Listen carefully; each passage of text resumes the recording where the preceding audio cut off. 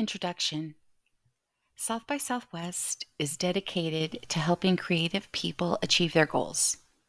Founded in 1987 in Austin, Texas, South by Southwest is best known for its conference and festivals that celebrate the combining of the interactive film and music industries.